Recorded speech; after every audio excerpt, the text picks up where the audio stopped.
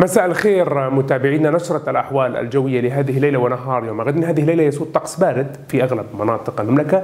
درجات الحرارة تكون منخفضة. ارتفاع في نسب الرطوبة النسبية. تشكل الضباب فوق المرتفعات الجبلية العالية الشاهقة بالإضافة لظهور لكميات من السحب المنخفضة.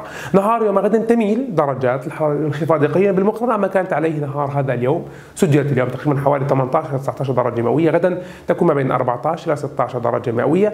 الأجواء تكون باردة نسبيا في ساعات النهار لكنها تبقى باردة في ساعات الليل سواء هذه الليلة أو ليلة الاثنين على الثلاثاء. تظهر بعض السحب والغيوم خاصة في المنطقتين الشمالية والوسطى من المملكة. نستعرض معكم هذه الليلة درجات الحرارة أيضا في العاصمة عمان تكون الصغرى 7 درجات مئوية وهناك تشكل للضباب الخفيف أحيانا والأجواء رطبة.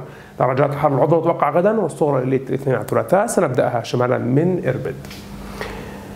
15 إلى 9 جرش 16 10 المفرق 15 إلى 7 وعجلون 14 إلى 8 درجات مئوية. في العاصمة والسلط تكون 14 إلى 8 في الزرقاء 16 إلى 10 أيضا مادبه 15 إلى 8 والبحر الميت من 22 إلى 17 في كل من الكرك والطفيلة 15 إلى 9 معان 19 8 جبال الشراء من 13 إلى 7 في العقبة من 25 إلى 16 ختام ذلك وهذه الجولة في ارويشد 20 7 الصفا 19 إلى 6 وفي الأزرق من 20 إلى 9 درجات مئوية. هذا كان لدينا بشأن الأحوال الجوية في المملكة لهذه الليلة ونهار يوم الغد. أتمنى لكم جميعا مساء سعيد أينما كنتم تصبحون على خير. إلى اللقاء.